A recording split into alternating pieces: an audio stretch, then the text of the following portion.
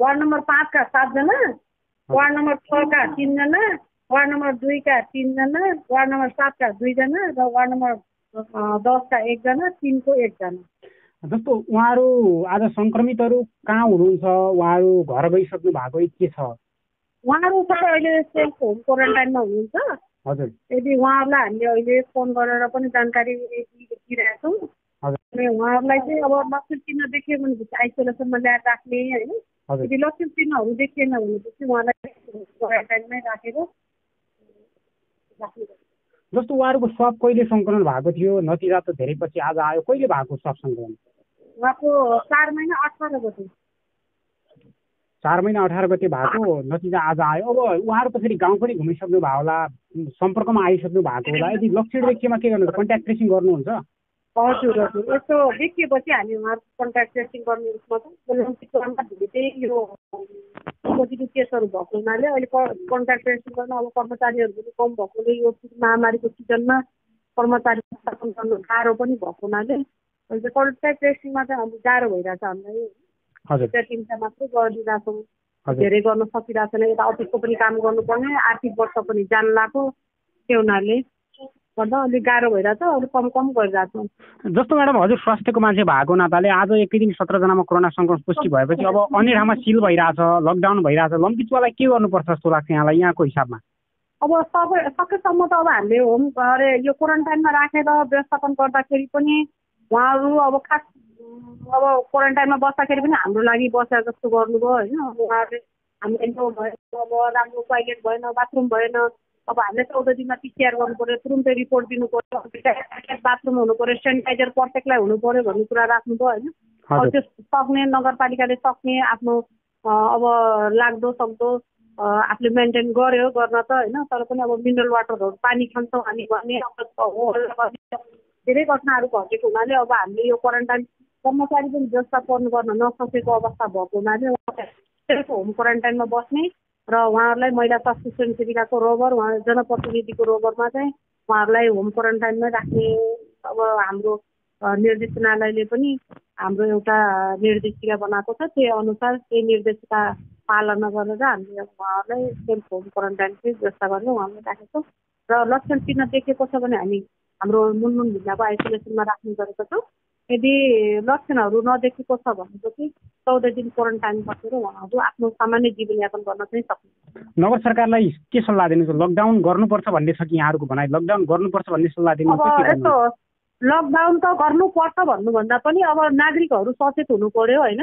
Self अब उहाँहरूले social डिस्टेन्सहरू maintain गर्ने कोरोनाको लागि स्पेसल औषधिहरू पनि केही नबनिसकेको होइन। उहाँहरूलाई अब अब यसको लागि अब नयाँ रोग नयाँ किसिमको यस्तो रिसर्च पनि नभएको कारणले गर्दा होइन अब कोरोनाको सामान्य प्रक्रियाहरू पुरा गरेपछि सामान्य रूपमा कोरोनालाई हामी जित्न सक्छौँ। होइन त्यो चाहिँ हाम्रो अब डब्लुएचओले पनि त्यो परिभाषा गरेको छ। हुनाले हात धुने सेनिटाइजर गर्ने भिडभाडमा नजाने। होइन उहाँहरूले अनि बाहिर जानै परे पनि मास्कहरू प्रयोग गर्ने होइन। भूलालमा सोसियल डिस्टेन्स मेन्टेन गरेर आफ्नो दैनिक क्रियाकलापहरू सक्नुहुन्छ। सक्नुहुन्छ। अब उहाँहरूले पनि एकदमै सचेत भइदिँदा राम्रो हुन्थ्यो भन्नु। अब तपाईँहरूको तयारी कस्तो रहन्छ? अब त कोरोना सङ्क्रमित फेरि भारतबाट आउनेहरू पनि छन् उहाँहरूलाई पनि होला। र यही पालिकाभित्र बसिरहेकालाई पनि सामान्य ज्वरो आयो त्यस्तो खालको लक्षण देखेपछि कोरोना चाहिँ टेकजाँच नभइरहेको अवस्था छ। अब उहाँहरूले कसरी सुरक्षित महसुस गर्ने या आरडिटी पिसिआर स्थानीय नागरिकको कसरी गर्ने कि व्यवस्था गर्नु भएको छ त्यस्तो? त्यस्तो अब हामीले उहाँहरूलाई अहिले समुदायमा पनि गएको छ कि छैन भनेर जाँच गर्नको लागि जस्तो सङ्क्रमित पोजिटिभ देखिनु भएको मान्छेको घरको फ्यामिली मेम्बरहरू जो उहाँसँग डाइरेक्ट कन्ट्याक्टमा हुनुहुन्छ होइन? अब खाना दिने अनि अब एउटै टोयलेट बाथरुमहरू प्रयोग गरेको मान्छेलाई ऱ्यान्डम रूपले अब उहाँहरूलाई पनि स्वाब परीक्षणको लागि बोलाएका छौँ उहाँहरूलाई पनि गर्ने गरेका छौँ। अनि अब उहाँहरूलाई सकेसम्म अब एवारनेस नै गर्ने भन्ने कुरा छ अब हामीले सकेसम्म अब हाम्रो प्रत्येक वार्ड वाइज एवारनेस प्रोग्रामहरू चलाउने। त्यस्तो लक्षण चिन्ह त्यस्तो कसैलाई पनि समस्या देखेको खण्डमा हामी तुरुन्तै हामीसँग रहेको एम्बुलेन्स अथवा पेन्डेमिक केसहरूलाई चाहिँ त्यहाँ एडमिट गरेर ट्रिटमेन्ट चाहिँ गरिदिएको अब जस्तो उहाँहरूमा कोरोना देखिसकेपछि अब समुदाय स्तरमा फैलिएको छ कि छैन भनेर उहाँहरूका परिवारको चेक जाँच गर्नुहुन्छ यहाँहरूले कहिलेबाट सुरुवात गर्नुहुन्छ चेक जाँच गर्न अब? उहाँहरूसँग अब समुदायमा फर्क्यो कि फर्क फर्क छ कि छैन भन्नको लागि अब उहाँको जस्तो रेन्डम उहाँको वरपरको बस्तीहरूको लागि पनि हामीले लिइरहेछौँ अनि पोजिटिभ केसहरूको मानिसहरू इन्डियाबाट आएको मात्रै नभएर बढी घुलमिल भएको ठाउँको व्यक्तिहरूको पनि सब परीक्षण गरिरहेको छ अब समुदाय स्तरमा कोरोना फैलियो कि फैलियो कसरी थाहा पाउने लम्चुवासीले अब अहिले चाहिँ अब हाम्रो उसमा चाहिँ तथ्याङ्कमा अब अहिलेसम्म बाहिरबाट आएको मान्छेहरूलाई मात्रै पोजिटिभ देखेको छ होइन? अब यहाँ यहीँ स्थानीय मान्छेहरूलाई कम सङ्क्रमण कम भएको कारणले गर्दा त्यस्तो सिम्टम देखेको मान्छेहरूको पनि सब सङ्कलन गरेर हेर्दा ऱ्यान्डम रूपले। तर उहाँ अहिले नदेखेको हुनाले हामीले समुदायमा चाहिँ गएको छैन कि भन्ने पनि अब हाम्रो यता चाहिँ हाम्रो जस्तो लाग्छ होइन। हजुर। बाहिरबाट नै सरेको जस्तो चाहिँ छ।